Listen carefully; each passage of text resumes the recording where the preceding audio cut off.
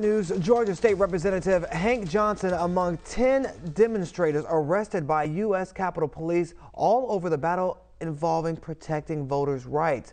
Now the protest led to uh, led by black men happened Thursday on Capitol Hill and that's where we find D.C. correspondent Bofta Yimam. Thank you for joining us this morning. Good morning, Bofta. Good morning, Shannon. Behind me, you can see the Capitol. Now, just to give you some perspective, the protests happened on the other side of the building, so a bit of a distance from here. The arrests happened toward the end of the event, which lasted a few hours. The advocates, the voting rights advocates, participated in a protest called Senate in Action on Voting Rights Legislation. Representative Johnson can be seen in the video with his hands restrained while chanting. He's one of 10 people arrested by Capitol Police for unlawful demonstrating outside the Hart Senate office building. They were charged with crowding and obstructing.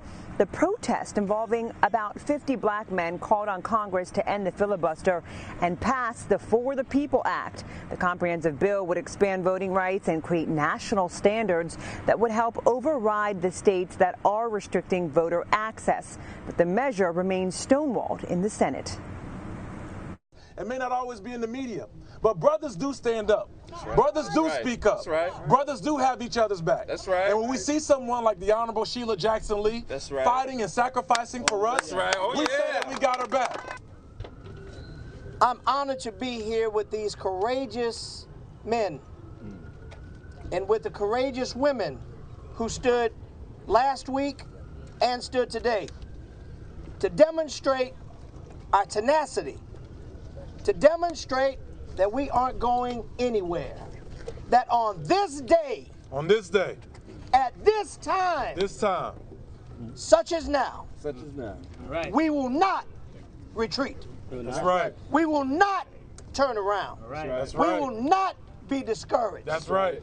So it means ending the filibuster. Yeah. That's right. Because a racist Jim Crow legacy policy mm. is not going to be the thing I could go out to in 2022 That's and right. explain to people that is why we didn't pass criminal justice reform. Mm. That is why we didn't put money in your pocket that was needed. Mm. That is why we did not move issues forward.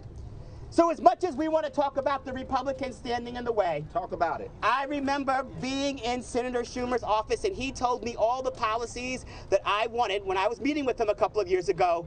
I needed Leader Schumer to accomplish. All right. Well, we got Leader Schumer. We got him. And now we need to accomplish the policies necessary. And that starts with ensuring that we do not lose our ability to express our will for a better future through the vote. That is the work forward. That is how we translate presence to power. Now, that protest comes about a week after black women also protested on Capitol Hill and were arrested. Shannon. Well, both we see that these protests and arrests are taking place, but it's still an uphill battle in the Senate.